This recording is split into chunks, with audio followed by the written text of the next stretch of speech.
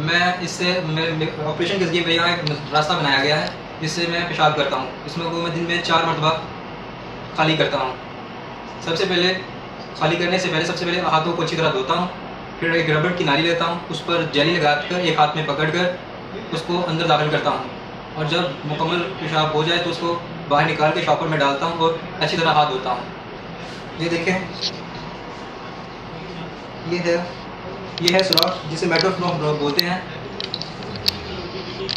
इसके ज़रिए से हम अपने मसाले को खाली करते हैं। ये है नाली। ये है नाली, जिसे नेटन ट्यूब बोलते हैं। और ये हुआ है जाइलोकिन जेल जो इसके ऊपर लगाया जाता है। मसाला खाली करने के लिए सबसे पहले हम याद याद रहे कि सबसे पहले हाथों को अच्छी तरह धोना है। ऐसे हम इसको खोलेंगे। इसमें से नाली को निकालेंगे। और ये है जेली इसको खोलेंगे। और इसके ऊपर ये जेली लगाएँगे। ये देखिए, ये आपको मैं बता रहा हूँ, इसके लिए मैं ये इसको, इसके लिए बर्तन इस्तेमाल करूँगा। इसको इस तरह नाली को पकड़ते हैं। और यहाँ से इसको सुराख में दाखिल करते हैं। इसको आहिस्ता आहिस्ता से मसाले के अंदर दाखिल करते हैं।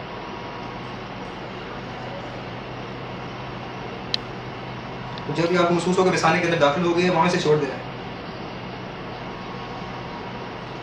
और पेशाब खुद ब खुद बाहर आना शुरू हो जाएगा, ये देखें इस तरह आप दिन में चार मरतबा यहाँ से नाली दाखिल करके अपने मसाले को खाली कर सकते हैं।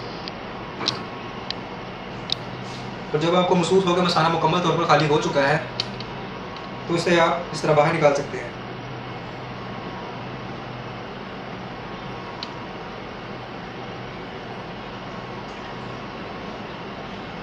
ये देखिए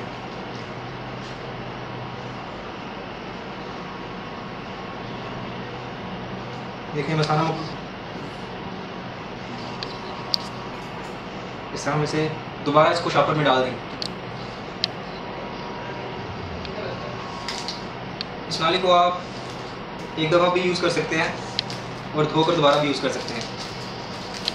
और इसको नाली को शॉपर में डालने के बाद फिर हाथों को अच्छी तरह से धोते हैं। और इसको टिश्यू वगैरह से साफ़ भी कर सकते हैं।